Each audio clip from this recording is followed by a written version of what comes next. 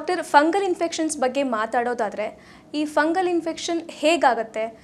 Season wise ಆಗುತ್ತಾ ಇಂತಿಂಥ ಸೀಸನಲ್ಲಿ ಅಂತ ಆಗುತ್ತಾ, ಅಥವಾ ಇದರ ಲಕ್ಷಣಗಳೇನು? ಹೌದು. ಈ ಫಂಗಲ್ ಇನ್ಫೆಕ್ಷನ್ ಅಂತ ನಾವು ಮಾತಾಡುವಾಗ ಬ್ರಾಡರ್ ಆಸ್ಪೆಕ್ಟಲ್ಲಿ ಡೆಫಿನೆಟ್ಲಿ ಇದು ಸೀಸನ್ಗೆ ರಿಲೇಟೆಡ್ ಇರುತ್ತೆ. ಈಗ ನಾವು ನೋಡ್ತಿರೋ ಹಾಗೆ ರೇನಿ ಸೀಸನ್ ಏನಿರುತ್ತೆ? ಮಳೆಗಾಲ.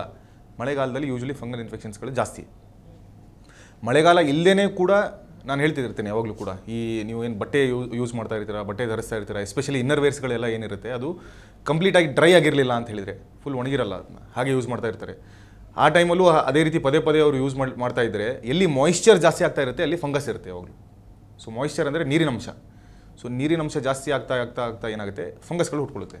ಅದ್ರ ಜೊತೆ ಜೊತೆ ಜೊತೆ ಜೊತೆನೇ ಏನಾಗುತ್ತೆ ಅಂತ ಹೇಳಿದರೆ, ಈ ಸ್ಕಿನ್ ಏನಾದರೂ ಇಮ್ಯುನಿಟಿ ಕಡಿಮೆ ಇತ್ತು ಅಥವಾ ಅವರು ಪ್ರೋನ್ ಫಾರ್ ಡಿಸೀಸಸ್ ಇದ್ದರು ಈಗ ಫಾರ್ ಎಕ್ಸಾಂಪಲ್ ಅವರು ಸಕ್ಕರೆ ಅಂಶ ಜಾಸ್ತಿ ಇರುತ್ತೆ ಬ್ಲಡ್ಡಲ್ಲಿ ನಾವೇನು ಡಯಾಬಿಟಿಸ್ ಮೆಲೈಟಸ್ ಅಂತ ಹೇಳ್ತೇವೆ. ಆ ರೀತಿ ಇತ್ತು ಅಂತ ಹೇಳಿದರೆ ಅವಾಗ ಸ್ಕಿನ್ನಲ್ಲಿ ಆಲ್ರೆಡಿ ಇಮ್ಯುನಿಟಿ ಕಡಿಮೆ ಇರುತ್ತೆ. ಪ್ಲಸ್ ಈ ಮಾಯಿಶ್ಚರಿಗೆ ಅವ್ರು ತುಂಬ ಎಕ್ಸ್ಪೋಸ್ ಆಗಿಬಿಟ್ರು ಅಂತ ಹೇಳಿದರೆ ಫಂಗಲ್ ಇನ್ಫೆಕ್ಷನ್ ಆಗುವಂಥ ಚಾನ್ಸಸ್ಗಳು ಏನಿರುತ್ತೆ ಅದು ಜಾಸ್ತಿ ಆಗುತ್ತೆ. ಓಕೆ ಸರ್ ಸೊ ದೇಹದ ಯಾವ್ಯಾವ ಭಾಗಗಳಲ್ಲಿ ಈ ಫಂಗಲ್ ಇನ್ಫೆಕ್ಷನ್ ಕಾಣಿಸ್ಕೊಳ್ಳುತ್ತೆ? ಹಾಗೆ ಇದು ಯಾವ ರೀತಿ ಇರುತ್ತೆ? ಹಾಂ ಫಂಗಲ್ ಇನ್ಫೆಕ್ಷನ್ ಬೇಸಿಕಲಿ ಜನರಲೈಸ್ಡ್ ಆಗಿರ್ಬೋದು. ಅಂದರೆ ತುಂಬ ಭಾಗಗಳಲ್ಲಿ ಕಾಣಿಸ್ಕೊಳ್ಬೋದು ದೇಹದಲ್ಲಿ. ಸ್ಪೆಸಿಫಿಕ್ ಆಗಿ ಎಲ್ಲೆಲ್ಲಿ ಸ್ಕಿನ್ ಫೋಲ್ಡ್ಸ್ ಇರುತ್ತೆ, ಈಗ ಬೆರಳುಗಳ ಮಿಡ್ಲಲ್ಲಿ ಕೈಯಲ್ಲಿರ್ಬೋದು, ಕಾಲಲ್ಲಿರ್ಬೋದು, ಸರಿನಾ? ಅಥವಾ ತೊಡೆಗಳ ಒಳಗಡೆ ಭಾಗದಲ್ಲಿ ಇನ್ನರ್ ಥೈಸ್ ಅಂತ ಹೇಳ್ತೇವೆ, ಅಥವಾ ಆರ್ಮ್ ಪಿಟ್ಸ್ ಕಂಕುಳಗಳಲ್ಲಿ ಇರ್ಬೋದು, ಅಥವಾ ಸೊಂಟದ ಹತ್ರ ಇರ್ಬೋದು, ಅಥವಾ ಬಟಕ್ಸ್ಗಳಲ್ಲಿ ಈ ಗುದದ್ವಾರದ ಹತ್ರ, ಇಲ್ಲೆಲ್ಲ ಕೂಡ ಫಂಗಲ್ ಇನ್ಫೆಕ್ಷನ್ ಆಗುವಂಥ ಚಾನ್ಸಸ್ಗಳು ತುಂಬ ಜಾಸ್ತಿ ಇರುತ್ತೆ. ಮತ್ತು ಹೇಗೆ ಇದನ್ನು ನಾವು ಕಂಡುಹಿಡ್ಕೊಳ್ಳೋದು ಅಂತ ಹೇಳಿದರೆ, ಅಥವಾ ಲಕ್ಷಣ ಏನಪ್ಪ ಅಂತ ಹೇಳಿದರೆ ಯೂಶ್ವಲಿ ಒಂದು ಇಚಿಂಗ್ ಇರುತ್ತೆ. ನೆವೆ ಆಗ್ತಾ ಇರುತ್ತೆ. ಪ್ಲಸ್ ವೈಟ್ ಪ್ಯಾಚಸ್ ಆಗಿರುತ್ತೆ ಅಲ್ಲಿ.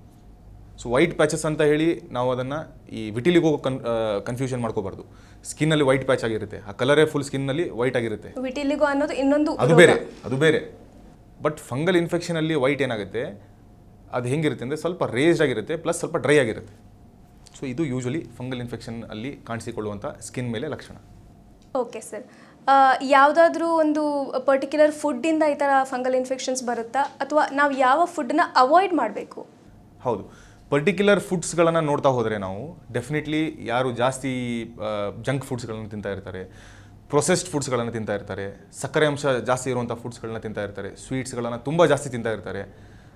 ಅಲ್ಲಿ ಫಂಗಲ್ ಇನ್ಫೆಕ್ಷನ್ಸ್ಗಳೇನಿದೆ ಅದು ಜಾಸ್ತಿ ಆಗ್ಬೋದು. ಅವರ, ಅವರಲ್ಲಿ ಎಲ್ಲ ಸೊ ಆಗಲೇಬೇಕಂತೇನಿಲ್ಲ ರೂಲ್ ಬಟ್ ಅವರಲ್ಲಿ ಹೆಚ್ಚಾಗಿ ಸ್ಟಾಟಿಸ್ಟಿಕಲಿ ನೋಡಿದರೆ ಅವರಲ್ಲಿ ಜಾಸ್ತಿ ಆಗೋ ಚಾನ್ಸಸ್ಗಳೇ ಇರುತ್ತೆ.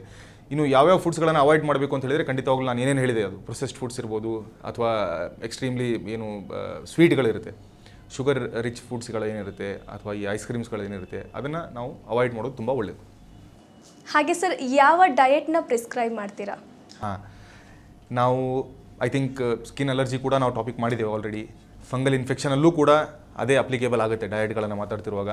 ಸೊ ಮೊದಲನೇ ಒಂದು ವೆಜಿಟೇಬಲ್ ಆಫ್ ಚಾಯ್ಸ್ ಅಂತ ನಾನು ಹೇಳ್ತೇನೆ. ಸೊ ಈ ತರಕಾರಿನ ನೀವು ತಗೊಳ್ಳೇಬೇಕು ಅಂತ ಹೇಳುವುದು ಹಾಗಲಕಾಯಿ. ಸೊ ಹಾಗಲಕಾಯಿಯ ಸೇವನೆ ಮಾಡ್ತಾ ಬಂತು ಅಂತ ಹೇಳಿದರೆ, ಈ ರೀತಿಯ ಸ್ಕಿನ್ ಇನ್ಫೆಕ್ಷನ್ಸ್ಗಳು ಏನಾಗ್ತಾ ಇರುತ್ತೆ? ಫಂಗಲ್ ಇನ್ಫೆಕ್ಷನ್ ಇರ್ಬೋದು ಅಥವಾ ಸ್ಕಿನ್ ಅಲರ್ಜಿ ಇರ್ಬೋದು. ಅದೆಲ್ಲ ಕೂಡ ಕ್ರಮೇಣವಾಗಿ ಕಡಿಮೆ ಆಗಲಿಕ್ಕೆ ಶುರು ಆಗುತ್ತೆ ಯಾಕೆಂದರೆ ಆಯುರ್ವೇದದಲ್ಲಿ ಈ ರೀತಿ ತೊಂದರೆ ಏನಕ್ಕೆ ಆಗ್ತಾ ಇರುತ್ತೆ ಅಂತ ಹೇಳಿದರೆ ಯೂಶ್ವಲಿ ಅಲ್ಲಿ ಕೆಟ್ಟೋಗಿರೋ ರಕ್ತ ಅಂತ ಹೇಳ್ತೀವಿ ನಾವು. ಅದು ಕಂಟೆಂಪ್ರರಿ ಸೈನ್ಸಲ್ಲಿ ಅಕ್ಸೆಪ್ಟ್ ಮಾಡಲ್ಲ. ಸೊ ಬ್ಯಾಡ್ ಬ್ಲಡ್ ಅಂತ ಕನ್ಸೆಪ್ಟ್ ಇರ್ಬೋದು ಅಥವಾ ಕೆಟ್ಟೋಗಿರೋ ರಕ್ತ ಅಂತ ಹೇಳಿರ್ಬೋದು. ಆ್ಯಕ್ಚುಲಿ ಹೆಪ್ಪುಗಟ್ಟುವಿಕೆ. ಹೆಪ್ಪುಗಟ್ಟಿಗೆ ಅಲ್ಲ ಅದು ಬೇರೆ. ಈ ಬ್ಯಾಡ್ ಬ್ಲಡ್ ಅಂತ ಹೇಳೋದು ಏನಪ್ಪ ಅಂತ ಹೇಳಿದರೆ ನಮ್ಮ ದೇಹದಲ್ಲಿ ವಾತ ಪಿತ್ತ ಕಫ ಅಂತ ಇರುತ್ತೆ. ಈ ದೋಷಗಳಿಂದ ಏನಾದರೂ ಈ ರಕ್ತ ದೂಷಣೆ ಆಯಿತು ಅಂತ ಹೇಳಿದರೆ ಆವಾಗ ಆ ರಕ್ತ ಕೆಟ್ಟೋಗಿದೆ ಅಂತ ಹೇಳ್ತೇವೆ ನಾವು. ಸೊ ಅದು ಜನರಲ್ ಟರ್ಮ್ ಯೂಸ್ ಮಾಡೋದು. ಅದಕ್ಕೆ ಕಂಟೆಂಪ್ರರಿ ಸೈನ್ಸಲ್ಲಿ ಯಾವುದೂ ವರ್ಡ್ ಇಲ್ಲ. ಸೊ ಸರ್ ನೀವು ನನಗೆ ಅದನ್ನ ತಿಳಿಸಿ ಹೇಳಿ ಅಂತ ಹೇಳಿದರೆ ಒಟ್ಟಿಗೆ ಯಾವುದೋ ಒಂದು ಅಂಶ ರಕ್ತದಲ್ಲಿ ಇರಬಾರದಂಥದ್ದು ಅದು ಜಾಸ್ತಿಯಾಗಿದೆ ಅಥವಾ ಕಡಿಮೆಯಲ್ಲಿ ಇರುವಂಥದ್ದು, ಲಿಮಿಟಲ್ಲಿ ಇರುವಂಥದ್ದು ಜಾಸ್ತಿ ಆಗಿದೆ ಅಂತ ಹೇಳ್ಬೋದು ನಾವು. ಸೊ ಅಲ್ಲಿ ನಾವು ಬ್ಲಡ್ ಡಿಟಾಕ್ಸನ್ನು ಮಾಡಬೇಕು, ರಕ್ತದ ಶುದ್ಧೀಕರಣವನ್ನು ಮಾಡಬೇಕು ಅಂತ ಹೇಳುವಾಗ ಹಾಗಲಕಾಯಿ ಏನಿದೆ, ಅದು ನಂಬರ್ ಒನ್ ಪ್ಲೇಸಲ್ಲಿ ಬಂದು ಕೂತ್ಕೊಳ್ಳುತ್ತೆ. ಸೊ ಹಾಗಲಕಾಯಿಯ ಸೇವನೆ ಮಾಡ್ತಾ ಇರಬೇಕು ಎರಡನೇದೇನಪ್ಪ ಅಂತ ಹೇಳಿದರೆ ಬೇವು.